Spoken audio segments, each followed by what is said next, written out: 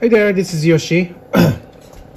Today I want to repot this. Well, this is not really repot. It's actually potting because it was never in, uh, I should say, it was never potted. So it's there's no repot, is there? Excuse me. Anyways, um, I just want to talk about a little bit about when you buy um, division without any roots.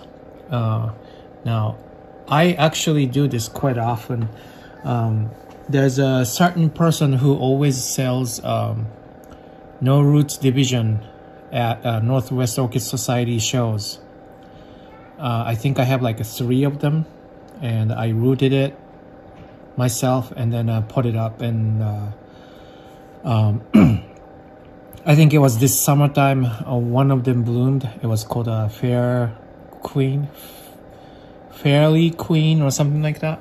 Um, some of you have been subscribed uh, for a while.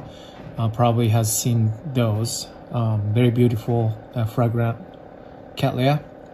Um, now this one is um, huh, I forgot the name of this actual uh, hybrid. This is supposedly um, naturally hybridized um, primary hybrid that is um, Anceps and uh, something Finkel. I'll put the um, name here. I forgot. I should have made a, a, tag already, and I will do so uh, in this video. But uh, yeah, so basically, cattleyas, uh, even when you're repotting, um, there's a certain timing you should uh, look at because uh, uh, the roots sometimes could be uh, pretty finicky and when you uh, repot it in the wrong timing the roots die or roots won't grow in uh, but it, it, it won't roots well I should say. So when you are putting up uh, cattleyas you should look at this indication. If you can see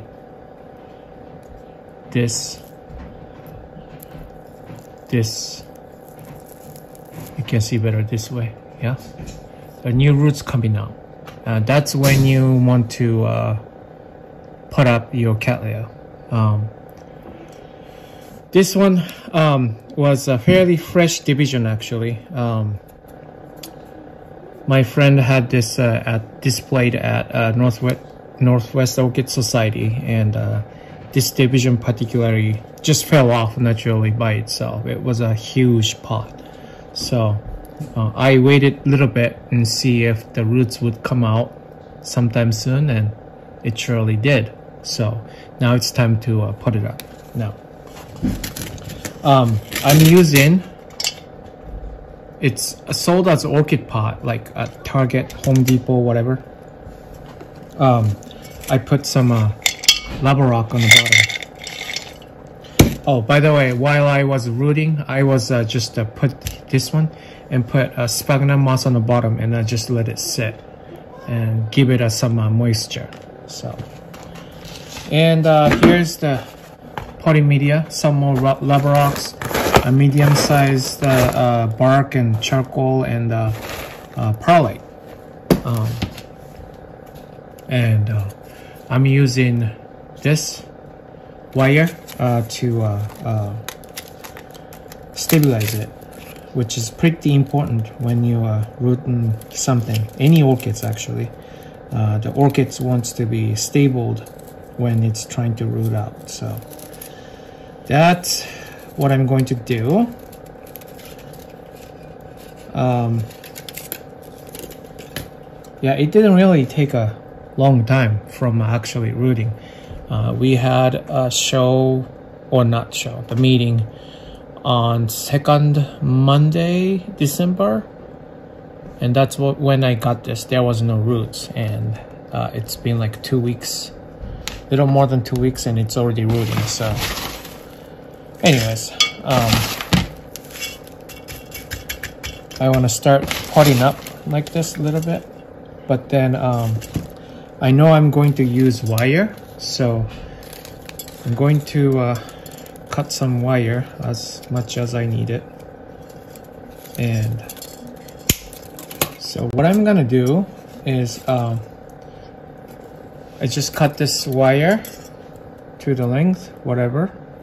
I don't know how much I would need, but just go through this like that and the one end goes to the hole here. And the other end goes to the other side of the hole which is right here. Like that. And if it's too long I'll just cut it. And I think I want to be like around here. New growth is coming out here though. Oh yeah. New growth is coming out here and also here. So mm, I think I want to go like this a little bit. So this could come out and this could come out. Um, and now that position is set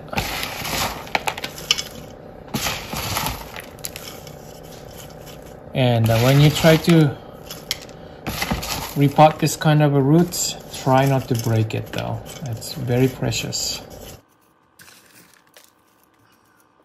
Find, find the site I kind of want a little more lava rock for better aeration, but oh well, that's okay. This will do. Alright, and that's enough. Now, what I want to do is, see this two ends, I want to go like this and tighten it. Is it tightened? Yeah, I think so. Yeah, see?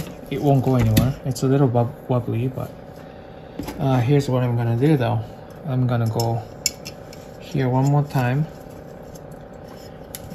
hoping to see it goes through again. Maybe I should have done that first. But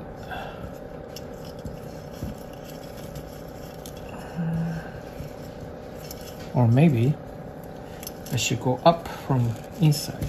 There. That's easier. Yep. And go like this.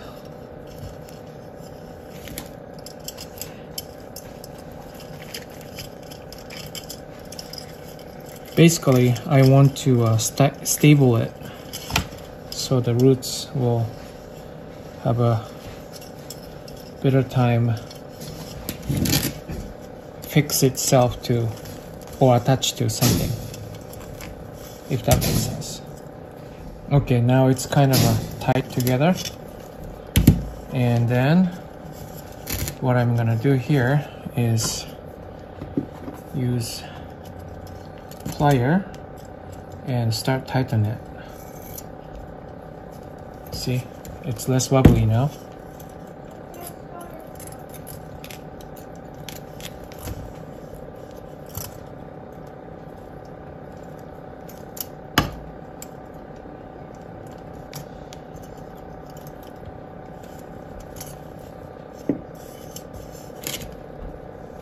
Yep. See, it's really stable now. Yep, I like that. Maybe a little more. How about that now?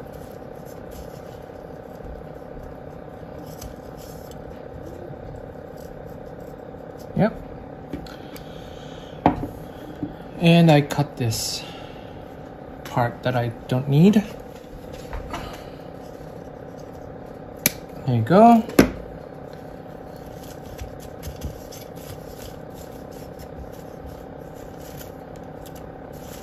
And what a, how quick, right? Kind of want it to stand up a little bit more though, but like that maybe?